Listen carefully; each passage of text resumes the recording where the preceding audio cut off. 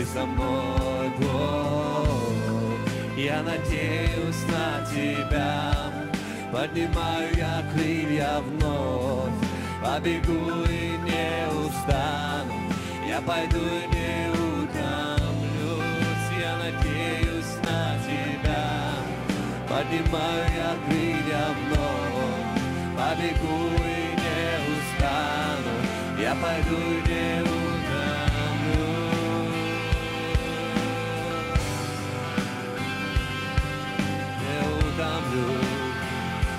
Ты даешь силу.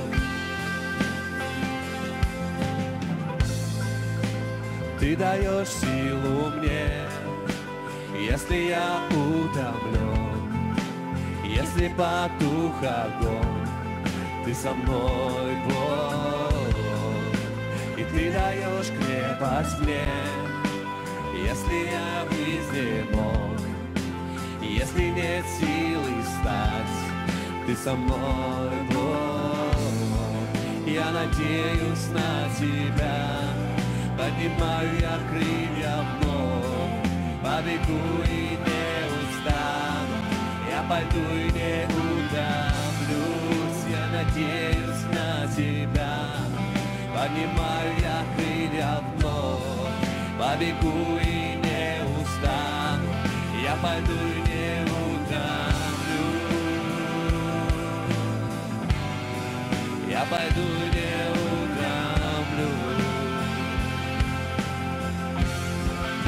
Я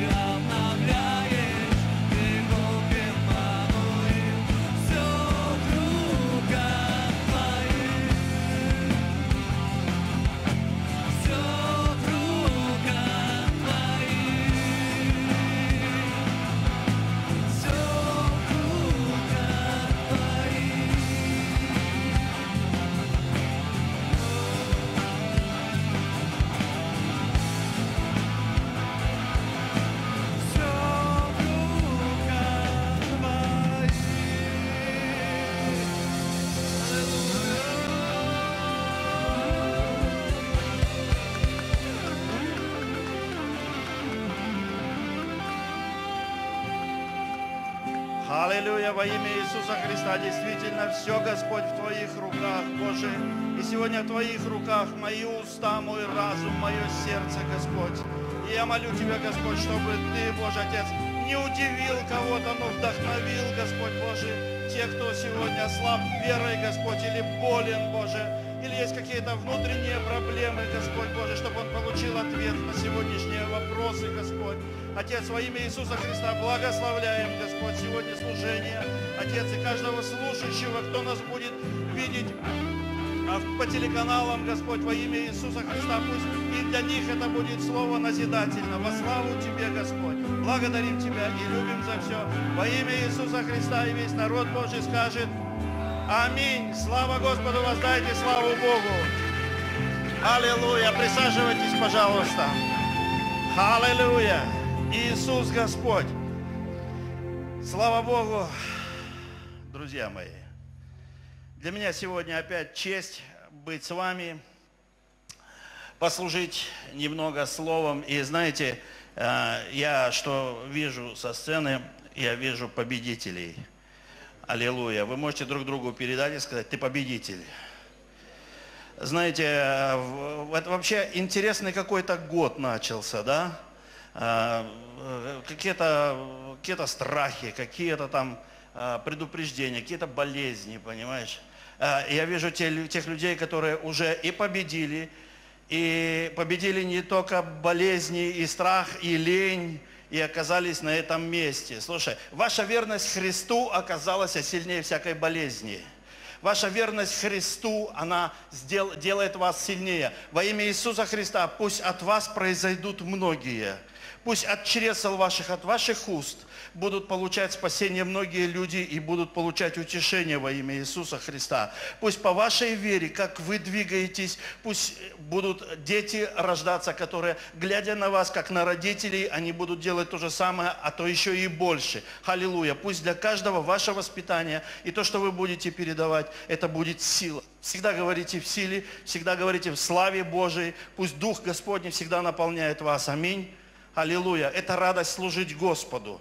Это, знаете, как однажды к Моисею Господь а, пришел в кусту горячем, в кусте, правильно, да, сказать, и он разговаривал с ним и говорит, слушай, тебе надо пойти в народ израильский, он сильно вопит, и этот вопль до меня дошел, и Моисей немножечко так сконфузился, говорит, все хорошо, все, все понятно, а вот если там меня не послушается, вот на тебе палку, вот что у тебя в твоей руке, это превращается в змею.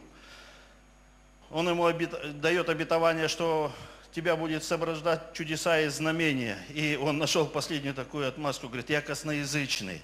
Вот. Я не могу все рассказать, как ты хочешь передать. Господь говорит, слушай, я создал твои уста. Я создал, я знаю все. Я все прекрасно знаю. Я думаю, знаете, некоторые вопросы задавать Господу нашему даже как-то глупо, понимаете, Он знает все. Если я даже, Он сказал, говорит, слушай, у меня даже волосы сочтены на голове твоей, на бороде твоей, все, вот все я знаю о тебе, все. Можешь не бояться. И Господь хочет, чтобы мы были спокойные и помимо способные. Он делает способных. Если ты сегодня сидишь в этих рядах, значит тебя Господь нашел способным на дальнейшее движение. Э, Господь нашел тебя сильным, потому что ты согласился, ты пошел, ты не обратил внимания ни на какое, ни косноязычие, ни на чего, никакие э, проблемы в своем доме. Слава Богу, и пусть Господь благословит тебя. Сегодня, друзья, знаете, я бы хотел, прошу прощения, э, поговорить интересную, очень раскрыть тему. А, Это Иоанна 8 глава с 3 по 11 стих.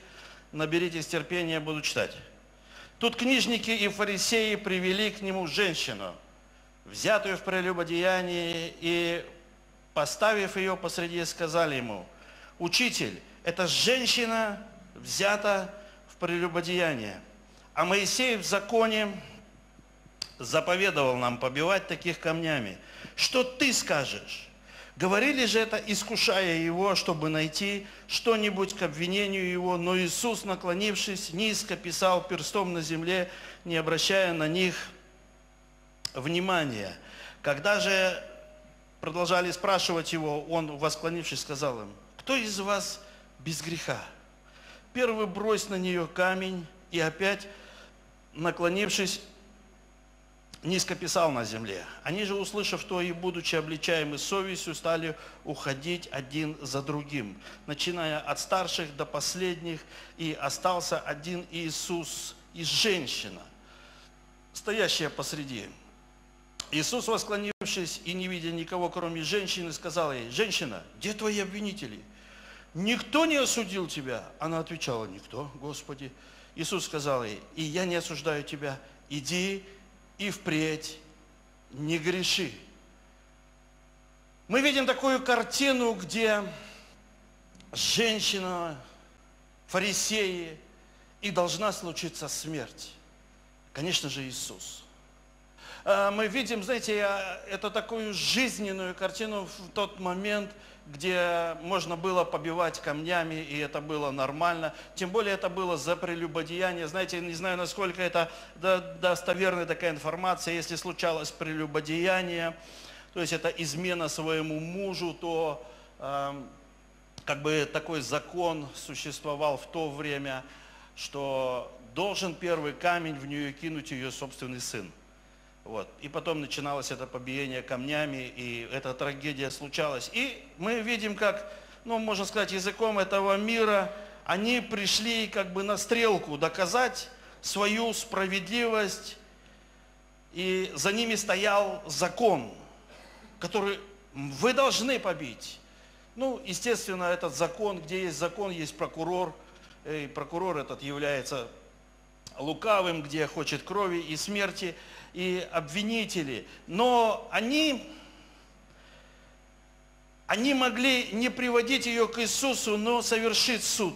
Но им, не, им, нужно, им нужно было осудить не только ее, но им нужно было осудить еще Иисуса Христа. Вы знаете, на сегодняшний день, если переосмыслить, сегодня а, очень много таких странных вещей, когда люди начинают осуждать, осуждать Бога. Вы слышали, наверное, когда доносили Слово Божие, и кто-то вам говорил, что, да знаете, что, да почему Бог допустил ту или иную ситуацию, там, или э, почему там война, почему вот это вот случилось. И вот эти вот искушения, они и дошли до наших дней, и когда вот этот суд э, совершался, когда э, совершалась вот эта вот приговор, который они вынесли. И они очень внимательно слушали, а что скажет Иисус, что скажет этот самый учитель. Они шли с таким расчетом, что он здесь ничего не сможет сделать. Здесь мы ее, сто процентов мы совершим это побиение, э, мы будем в выигрыше, и мы скажем, ну что-то ты ничего не сделал, и видите, как, как слово мудрости дает Господь Иисусу и говорит, слушай, кто первый, кто из вас без греха, первый бросьте в нее камень. И что мы видим дальше? И они пошли, обличаемые совестью – значит, еще есть совесть. И, возможно, знаете, такой момент, что они сами блудили с ней. Но искусить Иисуса Христа, подставить Его и рассказать Ему о, о своих вопросах, это было намного важнее. Э, вчера буквально я одному человеку даю Евангелие, брошюрку и говорю, знаешь, Бог любит тебя – он говорит, не-не-не-не-не-не, пожалуйста, пожалуйста, нет, нет, нет, нет, нет. А что, что мешает вам взять это? Он говорит, у меня свой Бог. Я верю в своего Бога. Это те процессы, которые э, лично мне. Знаете, очень страшно создать своего Бога внутри своего сердца, которым ты будешь, даже я скажу, молиться. Это в душе, как мы его называем. Не мы называем, а люди в мире называют его в душе, когда э, человек не знает, кому молится, не знает, от чего живет, но камни в руках он держит крепко и не хочет их отпускать. И знаете, и вот эти люди, которые привели к убиению, знаете, это мое личное такое откровение, можете не ставить его в себе в закон, они тоже блудили с этой женщиной. И вы знаете, у евреев есть такой закон, когда ты согрешил, и они это понимали. что когда согрешил, нужно принести ягненка, да? За, жертва за грех. Я думаю, это, это продолжалось э, изо дня в день, и ягнят не осталось. Но это мое мнение. Они решили избавиться уже от нее. Ну сколько можно уже, ну, поговорившись, наверное, может, посовещавшись между собой. У меня, говорит, стадо кончилось. Да и у меня тоже, говорит, тут благодаря вот ей, она виновата, давай побьем камнями, давай. Согласились, ну давай к Иисусу уведем, давай с Иисусом переговорим и мы сделаем свое, то, что мы хотели. И знаете, их душевный провал показал, с кем они имеют дело. Когда они провалились, когда они э, бросили камни, они понимали, что они проиграли. Что вот это время, которое проведи, провели они в общении, они не выдержали. Знаете, не, ну, это неприятно, когда ты э, проигрываешь в каких-то спорах. Хотя за тобой закон, за твоим сердцем стоит уже закон, где Моисей, где все создал. Но Господь абсолютно обращает эту ситуацию по-другому. Это хорошо иметь такого друга, когда при его слове, понимаешь, есть такая защита. Я думаю, эта женщина, она даже не ожидала такого поворота. Она приготовилась к смерти. Она приготовилась уже все. Сейчас этот Иисус скажет свое дело, и все, и на этом все закончится. И страх, может быть, ее переполнял. Я думаю, что не может это на самом деле. Это была такая тяжелая ситуация. И, а, знаете, а с грехом-то как-то нужно же разобраться. Ну, грех же все-таки был с ее стороны. Никто не видит чужого греха, никто не видит своего греха. Э, Иисус показывает, кто без греха, первый бросит на нее камень. Но человек не видит своего греха. Мы видим только, как вот она явно согрешила. А то, что как я дома себя веду, я на это тяжело, я на это не обращаю внимания. Как у меня есть отношения, если у меня личные отношения со Христом, я на это не обращаю внимания. Я обращаю внимание то, что как сделал кто-то. И когда Господь уже обличил их, конечно, они уже были обличаемы. И вы знаете, это тоже такое вот откровение, которое Господь, когда, может быть, писал на земле, может быть, э, может быть, Он это сказал, это и в Библии, может быть, не записали, но это есть в Писании. Он говорит, да что вы, мужики, беспокоитесь за то, что побить ее камнями. Вот. Я заплачу. Я заплачу за этот грех. Цена остается за мной. С меня возьмете то, что она сегодня согрешила, то, что она сделала, то, что она не провела такое время.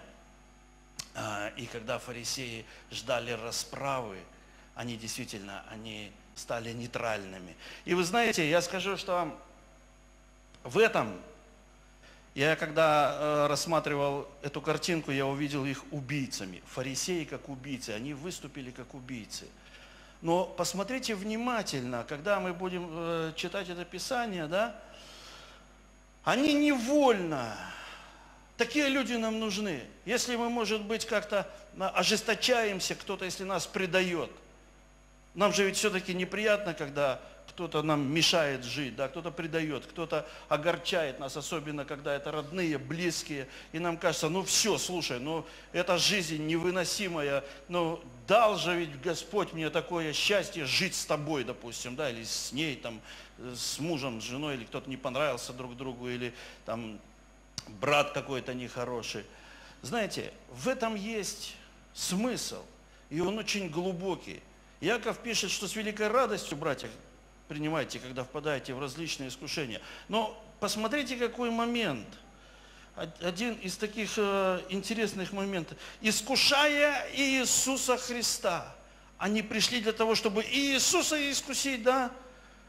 Нажаловаться ему про эту женщину. Ну, естественно, и женщину побить камнями. Но они превратились в евангелистов. Не понимаете, о чем речь идет? Они превратились в евангелистов. Они привели женщину к Иисусу Христу. Знаете, она увидела ситуацию, вот впереди пишущая свободу, и Иисус, этот парень имеет вес, он имеет силу, он имеет власть, а сзади-то смерть. и даже смерть, и даже э, с тем оружием, которое она видела, она даже, может быть, пе- пересчитала, сколько камней у кого у каждого в руках, если каждый по пять раз поднимет эти камни, то это вообще будет лепешка. И тут впереди Иисус. И знаете, и в сердце, я думаю, у нее заныло. И все, что было внутри, оно поменялось. И э, она, она просто, может быть, взмолилась. Я не знаю этой ситуации, как оно было, как оно, но я представляю, что она могла пережить. Вы знаете, если честно сказать, мы здесь, в этом зале, не все от хорошей жизни – мы все здесь не, не пришли, потому что увидели, услышали Евангелие. О, аллилуйя, Евангелие, Иисус Господь живой. И прибежали. И, и пришли, и давайте прославим Господа, давайте будем славить. А теперь мы будем веселые. Вчера мы были грустные, сегодня будем веселые. Почему? Иисус воскрес. Слушай, не впечатляет. Честно говорю, меня, вот это, сколько меня евангелисты ходили, это меня не впечатляло. Меня, знаете, что, честно говоря, впечатлило? Моя собственная смерть, когда я умирал. Когда я уже чувствовал, что вот моя инвалидная коляска, вот моя прожитая до 25 лет жизнь моя. И больше меня никакое Евангелие, да пусть меня Господь простит, не вдохновляло. Сколько было евангелистов в 90-е годы, просто через каждый шаг давали какую-нибудь брошюрку с Иисусом Христом, там, может, свидетели Иеговы, адвентисты седьмого дня, восьмого, десятого дня, ну, всяких дней люди подходили и что-то предлагали. Вот. Ну и все говорили об Иисусе Христе, и я просто открещивался и просто, ребят, ребят, ребят, ребят, ребят, ребят. Для меня, у меня свой Бог, как я это помню, говорил, для меня лучше, я думаю, как я пить не буду, слушай. Как я не буду жить своей жизнью? Вы покушаетесь на мою собственную жизнь, а я хочу жить так, как я хочу.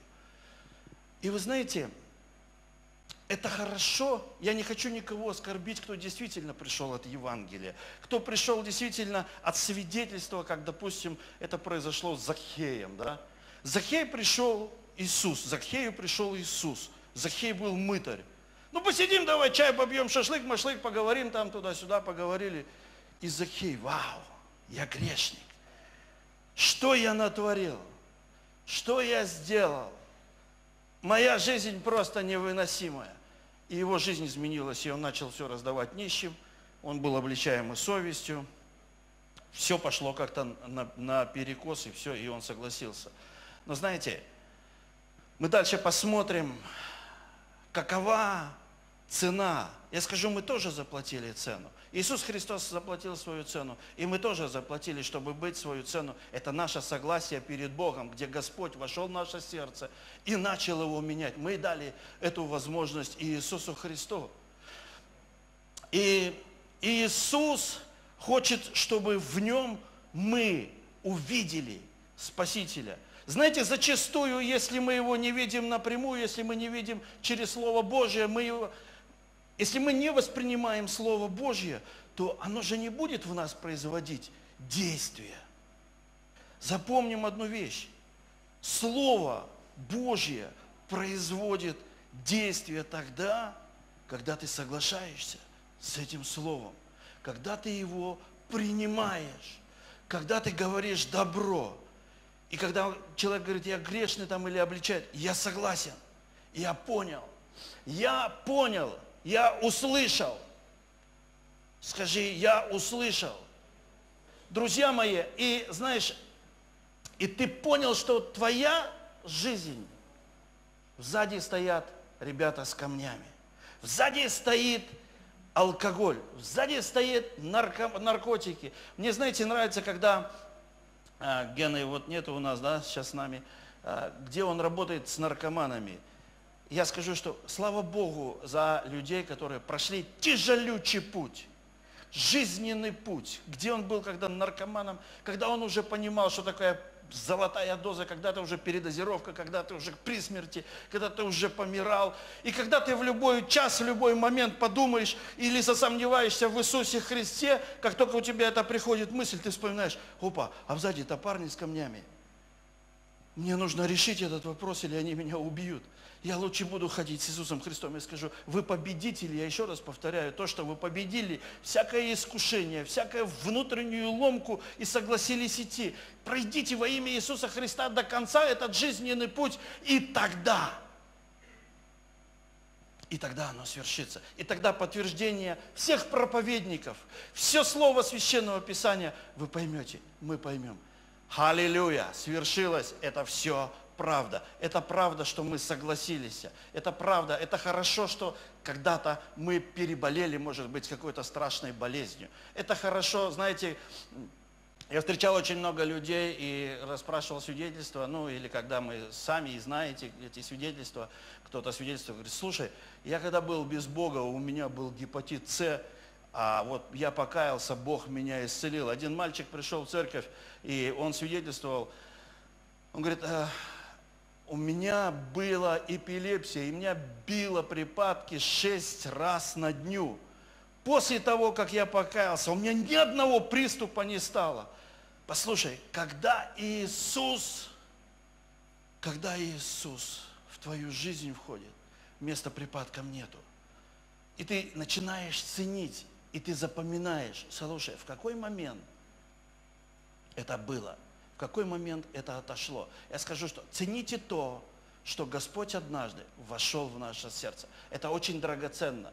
Даже, может быть, мы где-то обозленные, может быть, мы где-то не в настроении там или не в духе, или еще что-то, но это очень ценно. Это слава Богу, может быть, за ту смерть, которая к нам приблизилась. Дьявол думал, что он сейчас умертвит или уничтожит нас. Но он сделал нас сильными. Но ситуация, в которую мы попали, она сделала нас мудрыми, и мы стали двигаться за Христом. Слава Господу за тех, которые нам открывает Господь. И грех и смерть приводят к покаянию, и я не смогу без Иисуса. Знаете, вот этот дальнейший путь, который мы происходим с Иисусом, мы получаем освобождение. Э, Иоанна 8, 36, я скажу, Итак, если Сын освободит вас, то истинно свободны будете. Мы приходим к Иисусу и получаем полную свободу от тех вещей, которые нам привезли. И смотрите, есть такой момент, когда эту женщину привели э, на растерзание. Священное Писание говорит, Иоанна 3,17. «Ибо не послал Бог Сына Своего в мир, чтобы судить мир, но чтобы мир спасен был через Него». Друзья мои, сам Отец послал своего Сына не для того, чтобы тебя уличить, наказать, поймать за какой-то грех. Знаете, да, грех, он несет за собой какую-то тяжесть, но у нас есть Искупитель Иисус тот, который всегда запомнит за тебя. Если его жизнь, если его жизнь стала смертью, стала пыткой, я скажу, это цена. Это великая цена – это не для того, чтобы ты потом пошел в ад. Это не для того, чтобы ты при ошибках, при каких-то делах пошел и отрекся от Иисуса Христа или перестал ходить в церковь. Если уже что-то приключилось, если что-то получилось, есть время очиститься, покаяться, встать в строй и следовать дальше. Никогда, во имя Иисуса, просто будьте мудрыми. Будьте мудрыми, никогда не оставлять ни служение, никогда не оставлять ни церковь свою, ничего. Знаете, а, буквально общаясь с одним молодым человеком, а, в этом году, вы помните, был объявлен карантин. И он, по-моему, сейчас. Вот. Кто-то кто, кто понимает это, да? Слушай, и он говорит, ты знаешь, мы до того привыкли к этому карантину, вот мы до того привыкли к этому карантину, мы сперва разговаривали онлайн, мы сперва разговаривали в Зуме, потом перестали разговаривать в Зуме, потом перестали молиться, потом перешли э, на домашнее э, общение, ну, все это по домам было. И знаешь, что я решил? Он решил. Я сделаю себе отпуск. Я отдохну. Я вам скажу, друзья мои, от Иисуса отдыхать нельзя – нужно отдыхать в Иисусе. нужно отдыхать, когда у тебя Иисус. Я скажу, от молитвы нельзя отдыхать. Нельзя отдыхать от чтения Библии. Это возвращение, это провал, это то, что тебя приведет. Это, знаешь, если ты останавливаешься, это, это то, что ведет тем, которые стоят с камнями. И ни в коем случае не посмотреть назад, не, не желая, что ты теряешь. Однажды женщина посмотрела назад и превратилась в кусок соли, да, вот такой соляной вкусный столб, допустим, получился, да, вот. Я не знаю, его, может быть, уже и разобрали, этот столб, кто-то уже много супа съел из него, но одна женщина, которая пережила это все, мы сейчас о ней поговорим, об этой дальнейшей э, судьбе этого человека, которая, знаешь, решила пересмотреть Иисуса любовь. Она решила, она решила сблизиться. Скажи, сблизиться с Иисусом. Я желаю сблизиться с Иисусом. Я прочитаю место из Писания. Это Лука 7 глава, 36 стих и далее. И также тут опять получается, что некто из фарисеев попросил его вкусить с ним пищи. И он, войдя в дом фарисея, возлег. И вот женщина того города, которая была грешница, узнав, что он возлежит в доме фарисея, принесла алавастровый сосуд с миром. И встав позади у ног его и плача, начала обливать ноги его слезами и отирать волосами головы своей, целовала ноги его и, и мазала миром. Видя это, фарисей, пригласивший его, сказал сам себе, если бы он был пророк, то знал бы, кто и какая женщина прикасается к нему. Ибо это грешница, обрати- ибо это грешница. Обратившись к нему, Иисус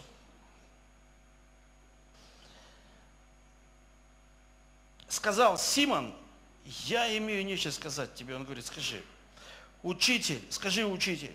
И Иисус сказал, у одного взаимодавца было два должника. Один должен был 500 динариев, а другой 50. Но как они не имели чем заплатить, он простил обоим. Скажи, который из них более возлюбит его? Симон отвечал, думаю, тот, которому более простил. Он сказал ему, правильно, правильно, друг мой, ты рассудил. И обратившись к женщине, сказал Симону, видишь ли, ты эту женщину, я пришел в дом твой, и ты воды мне на ноги не дал, а она слезами облила мне ноги, и волосами головы своей отерла, ты целования мне не дал. А она с тех пор, как пришла, не перестает целовать у меня ноги, ты головы мне маслом не помазал, а она миром помазала мне ноги. А потому сказываю тебе, прощаются грехи ее многие за то, что она возлюбила много. А кому мало прощается, тот мало любит. Ей же сказал, прощаются тебе грехи. И возлежавшие с ним кричали, говоря, говорить, э, начали говорить про себя. Кто это, что и грехи прощает? Он же сказал женщине, вера спасла тебя, иди с миром. Вот еще одна картина. Знаете, мы не знаем точно, та ли это женщина, но э, по совпадению она очень похожа, что это та, которую хотели побить камнями.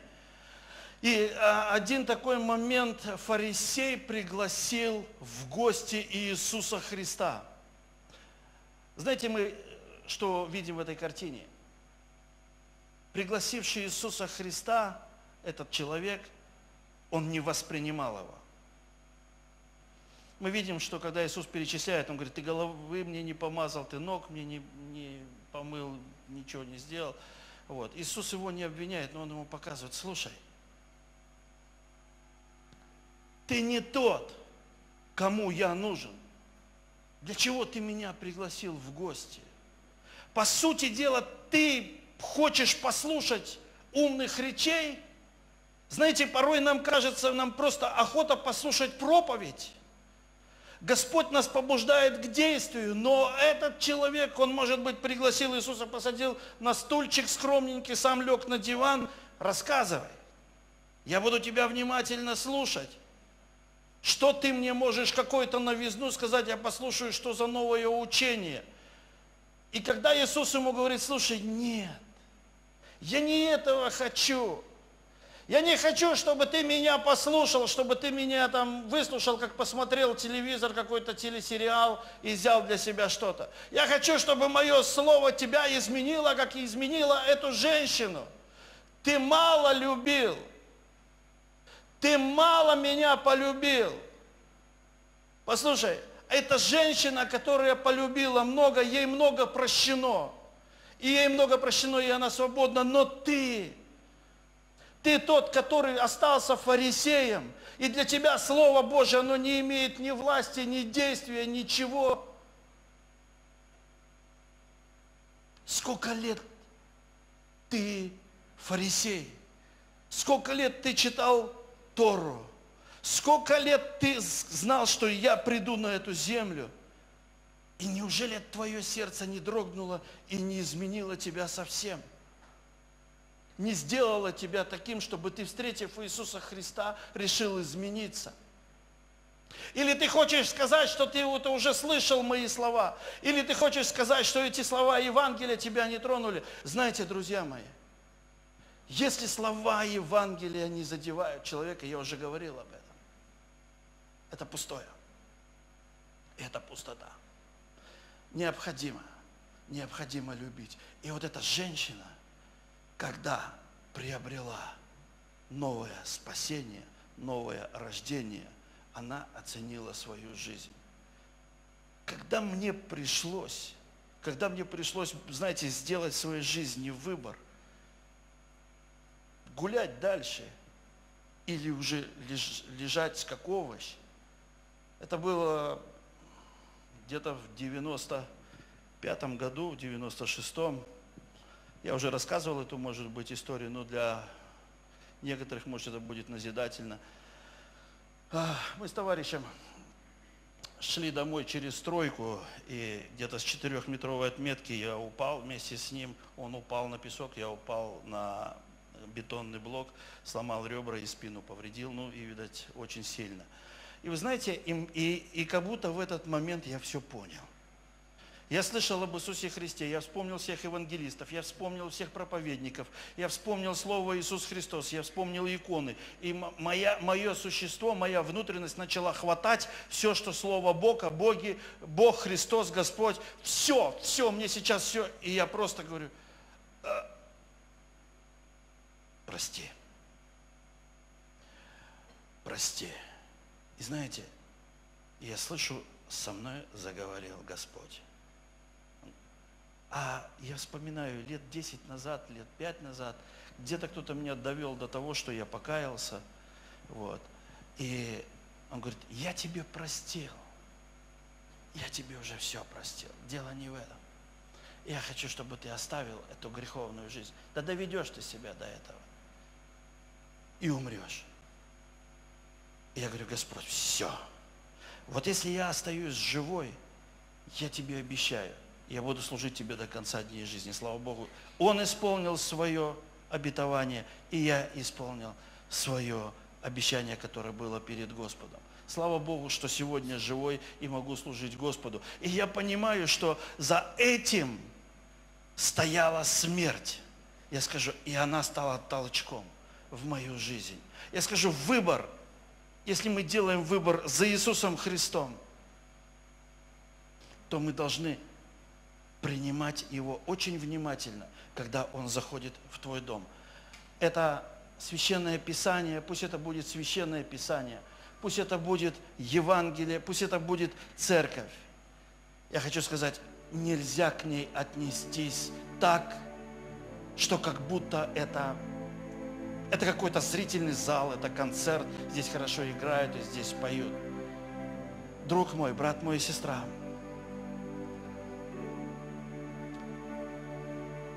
обязательно, я говорю как бы в такой интерпретации, обязательно нужно разбить алавастровый сосуд.